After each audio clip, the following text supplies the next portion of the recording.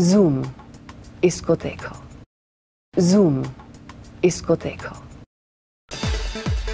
अब इमरान खान की हीरोइन बनेगी कटरीना कैफ। खबर है कि बॉलीवुड के एक बड़े प्रोडक्शन हाउस ने लंदन गर्ल को इमरान खान के ऑपोजिट साइन किया है।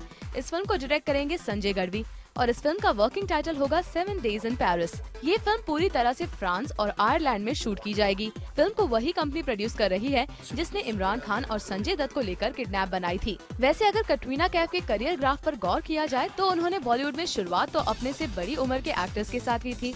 लेकिन अब जबकि उनका करियर बूम पर है तो वो कम उम्र के एक्टर्स के साथ फ़िल्में करने में दिलचस्पी ले रही हैं और फ़िल्म मेकर भी कटरीना को खुलकर ये मौका दे रहे हैं डायरेक्टर राजकुमार संतोषी की फ़िल्म अजब प्रेम की गजब कहानी और प्रकाश झा की फ़िल्म राजनीति में वो बॉलीवुड के लेटेस्ट हार्ड रणबीर कपूर के साथ काम कर रही हैं।